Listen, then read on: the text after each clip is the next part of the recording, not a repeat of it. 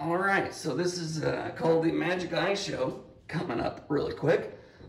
And uh, we'll take a figure here, and we'll, uh, she's very attractive. However, we'll make her more attractive by adding a little eyeball on her.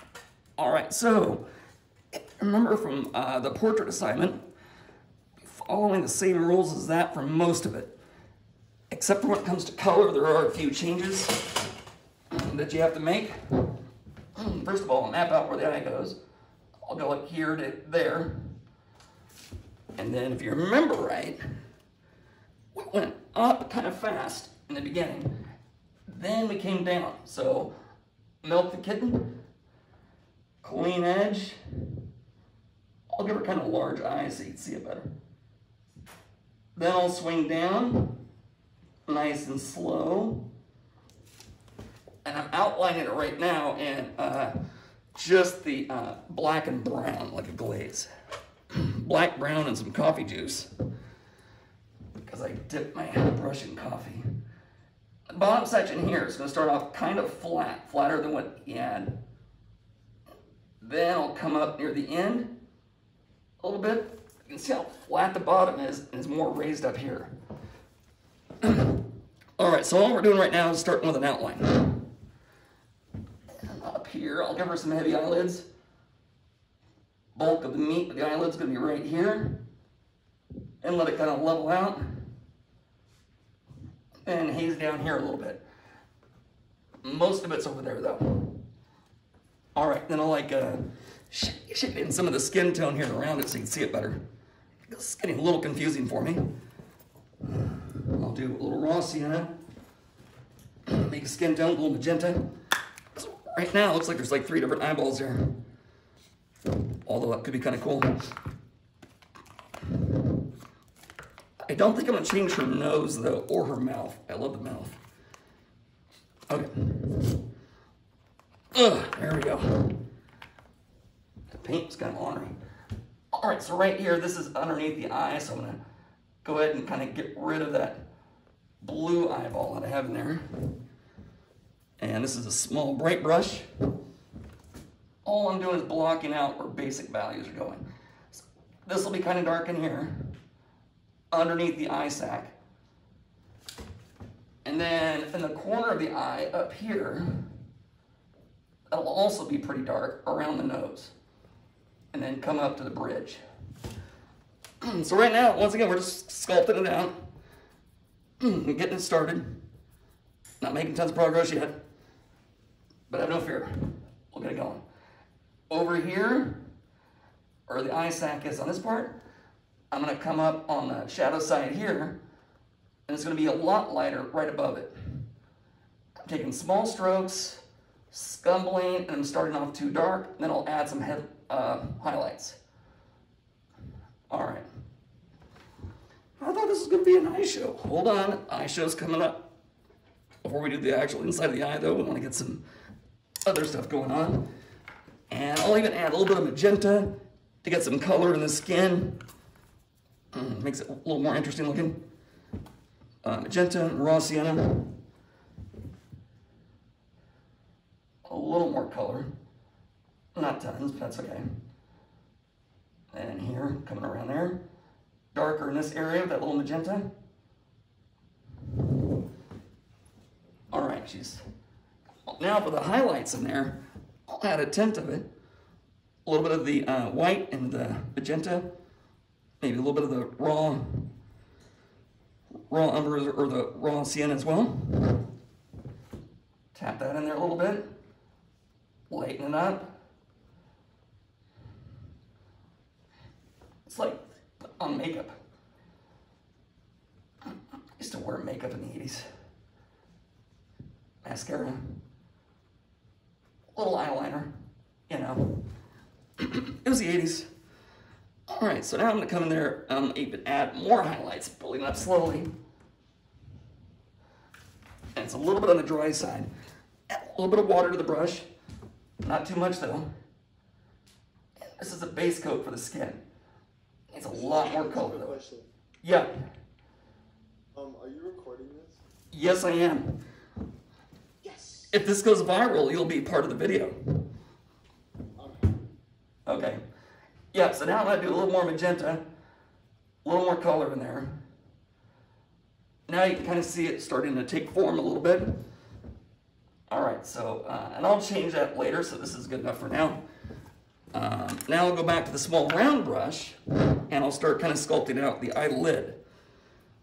I'll take the brown, dark brown, a little magenta, and right in here, I'll go quite a bit darker, and I'll fade this up into this edge. Right above it, I'll keep that kind of flat, and much darker on this side. Scumble, scumble.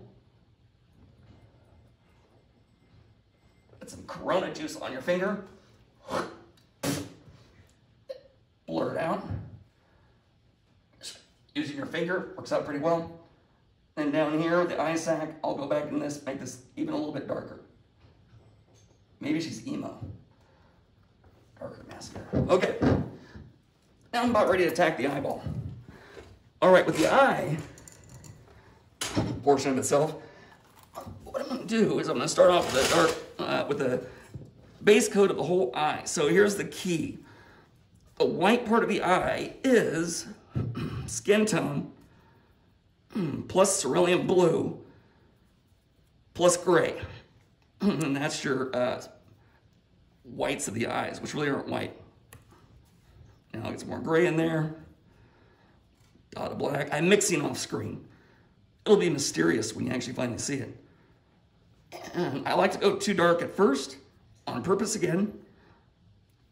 Because no matter what you're doing, whether it's skin or whatever else, you want to start dark and add light values to things.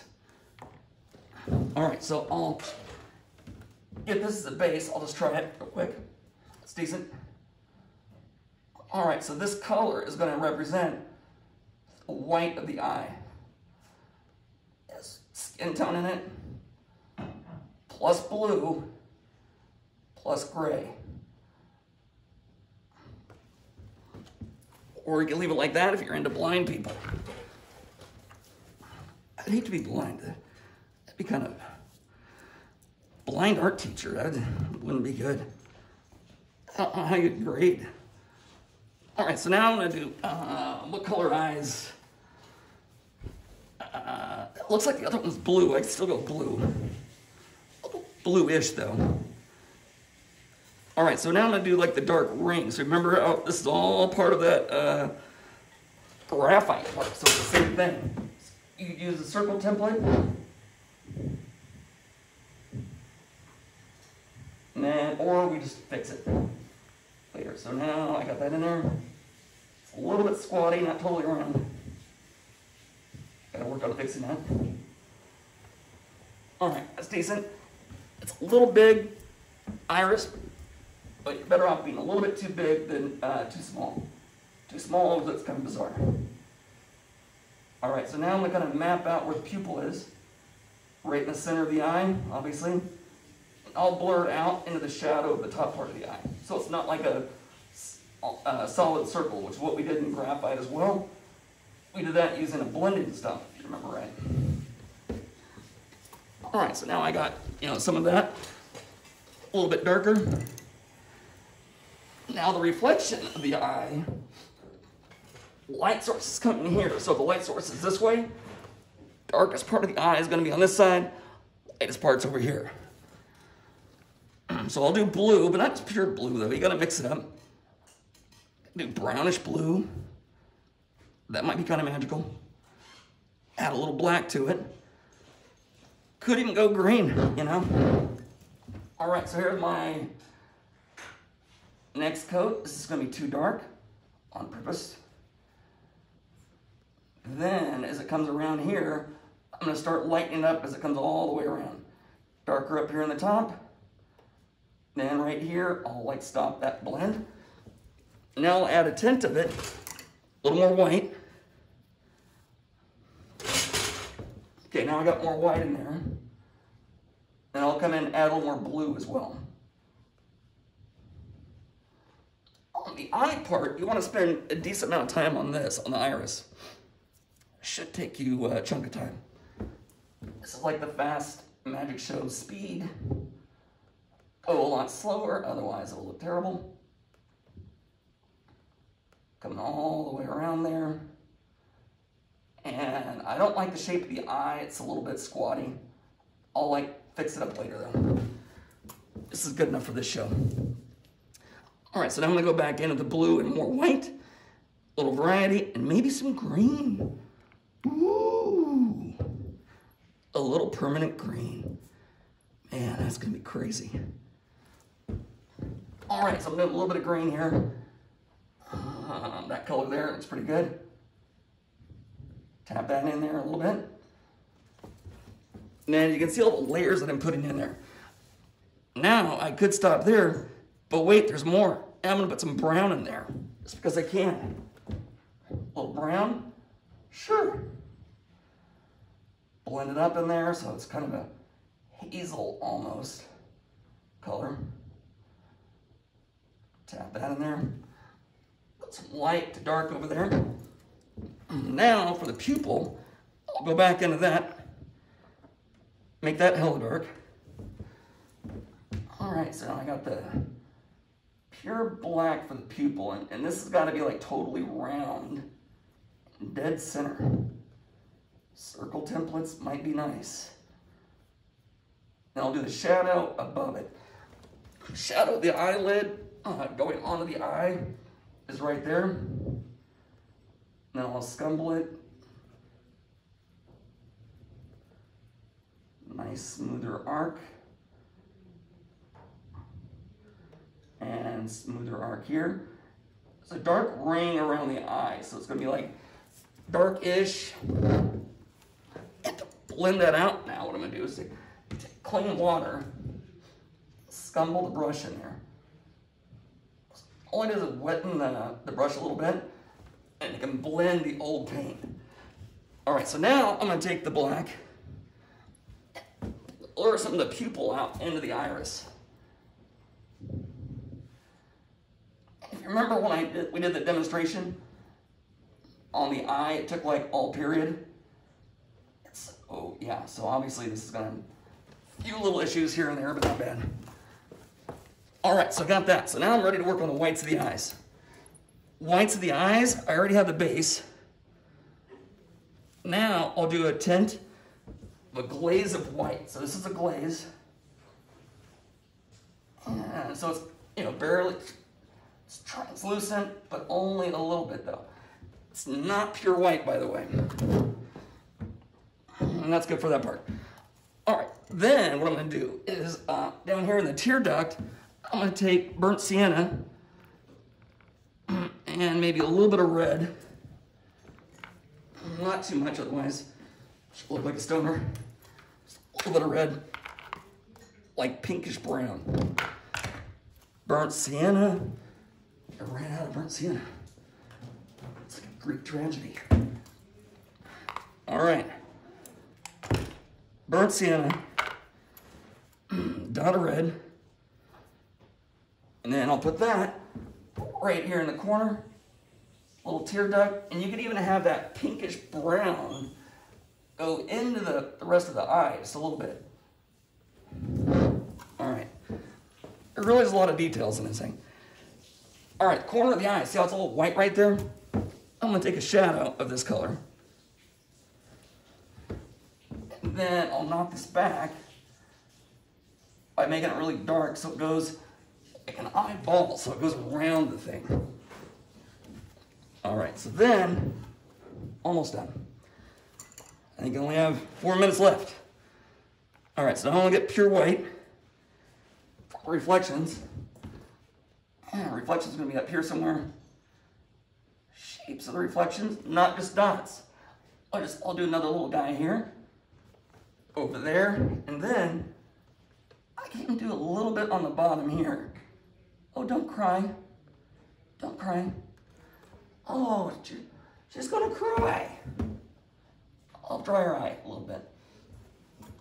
All right, so then we have that part. I'm gonna show the thickness of the lower eyelid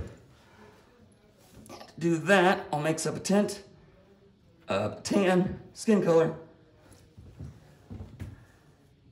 little bit of skin, lower portion of that. Then if I had time, I got two minutes. All right, I'm gonna shadow color over here. I'll do a little bit of a glaze to get that eyelid kind of floating around. Darker over here, and flick it out. Dark over here, just a little bit. now I'll do some uh, eyelashes. Eyelashes are kind of tricky with paint. Oh, mainly dark and hazy, blurry. Just like you learned in graphite.